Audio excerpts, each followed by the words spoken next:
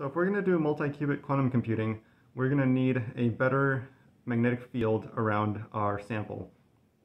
That's because the um, while the Earth's magnetic field is pretty uniform, if you have any ferromagnetic objects around your house, uh, that's going to cause distortions and it's going to take away from your resolution. And the way we do that is by using these things called gradient coils, which act, which are basically electromagnets. Um, they use electricity to create a magnetic field and um, we place those around our, our sample and they kind of undo you know the influences of the other objects around the house. Um, these uh, gradient coils can also be used in conjunction with um, just NMR in general to create an MRI. And so yeah, the first step is we're going to make an MRI, um, but in order to do that, we need the gradient coils. So that's what I'm going to be talking about in this video. There's various ways to use an electric field to uh, create a magnetic field to change the field through an area. One way is to just kind of make these giant coils around it, and you can see that in this area it's fairly uniform, um, but there are improvements that could be made, like, you know, this area right here, the strength is a little stronger than, than this area, and towards the outside it starts to like bend out and bend in a little bit, so we can do better. So in order to counteract all those edge effects and the changes in strengths, we just add more coils until it makes sense. Um, basically, the, these inner coils kind of make up for the lack of, of you know, speciality of the outer coils. And um, the other thing we can do is um, if we set up the geometry correctly, we can actually just wrap this around the tube um, or, you know, your, your imaging section um, to make everything more compact and uh, yeah, make work better. Plan A was to write a code which created a generic loop on the cylinder, plug that configuration into magpylib, which is a Python library for um, testing magnetic fields, and then tested how uniform that field was. So once that was set up, it would make small alterations to that configuration and then test them on that criteria of giving me the field that I'm looking for. Um, Iteratively, this should have converged to the right answer. In practice, however, it tended to converge to kind of like a scramble configuration or sometimes this uh, Pac-Man ghost configuration, um, which didn't look completely right. Um, and the other thing is that there was no guarantee that it con uh, converged to the uh, optimal. It had a good chance of just finding a local optimum. So plan B was that I found the code on GitHub, which will design, which was made for uh, designing gradient coils, and um, it spits out uh, basically the points of that coil in 3D uh, coordinates, a comma separated uh, file. Um, and so basically I just kind of put in the parameters that I was looking for in these points here. So the file um, that came out of, whoop, it came out of the uh, gradient generating script. Um, that one is, you know, gives you 3D coordinates, but I don't need that. I need that flattened out so that I can get it printed out to PCB and then, you know, refold it myself. And so I wrote a script which just uses some trigonometry to, uh, you know, flatten it out. This is FreeCAD. I can just uh, create new. And then I've got the script saved on a different part, so copy the first part.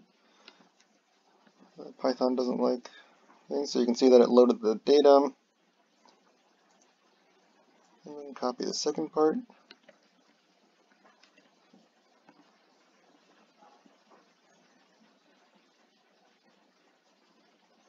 Takes a minute, and there you go. There is the coil points. Um, basically, when you load this into, so you can save this as, um, you export it as a um, DXF file, and then you can load it into KiCad, and in KiCad you'll be, you'll, you know, erase these extra lines that you don't need. You need to connect this, um, you know, in the right order, because if you correct it in the wrong order, then your polarity of your coils is off, so you gotta kind of, you know, go through it in your head uh, make sure all the coils are in the right direction, and then there you can also pick the how wide the lines are going to be. and then you can save it as a Gerber file or export it um, for a company to uh, print it out for you. Um, I went with uh, PCBWay because JLC PCB uh, doesn't do flexible. I've got my test set up here. Um, if you look closely, so that's the magnetic field from this magnetic field wand. It's basically just a microcontroller and a BNO 055. and where I live, it has a field of about 50 milliteslas, if I remember correctly. Milli or micro, I always forget. On the other Arduino window, I have this set up right here. So I've got an Arduino, and it's connected to this transistor right here. And so what I'm doing is I have it set up to ground and uh, digital 9. Um, that goes through the opto coupler, opto isolator, isolator. And then, um, you know, one of them goes to the high side, one of them goes to the control. And so basically I'm um, PWMing this guy right here so I don't turn it on all the way. Um, and it's relatively warm. I'm basically getting to the limits of um, what one set of transistors can do. Um, fortunately, feeling the coil, I'm nowhere near the limit of this, so if I need more field, I can always just add more of these in parallel. And um, yeah, so right now I have it, I, I gave it about, um, I would say 30% duty cycle, and that corresponds to about 3.3 amps and uh, 3 watts. Um, so yeah, voltage, uh, amps and watts. And um, it's a little noisy. That's my power supply. But um, that can be fixed later, later with a, I don't know, high pass circuit or um, just getting a better power supply. Um, my main test here is to make sure that this guy can put up in a field without melting. And so I have it lined up with the Earth's magnetic field vector, which kind of points out like that. And so I can add the magnetic testing wand here. Oh, just ruined that lineup. There we go. And um, when we look at the field, it's kind of jumping all over the place because of the power supply. But the point is that sometimes when I get it in the right place, it goes down to basically zero, which is what I'm looking for. Um, that's that third line, the, the B right there. Um, basically, I'm taking the X, Y, and Z uh, components and, you know, taking the square root and then, or, you know, squaring them and taking the square root.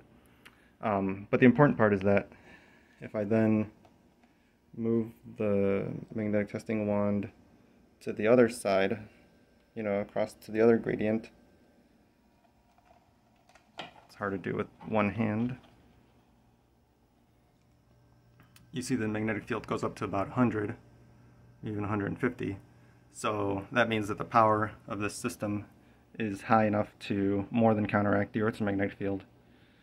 So yeah, it seems to work. So that's the coil. Um, the next steps is to try to use my CNC to kind of get a grid of how the field looks like inside the coil, um, make sure that's as uniform as the theory says. I'm planning on rewriting the ANMR code um, to run on a uh, Raspberry Pi Pico um, because it'll be faster and it won't have the AVRDUDE issues that the current code has. It won't have all the bells and whistles, but that's okay for now. Um, if people are interested, I'm going to try to make a video for MRIs, um, just like the basic theory, my take on the basic theory of them, how they work. Um, so yeah, uh, subscribe if that sounds interesting to you, and stay crunchy.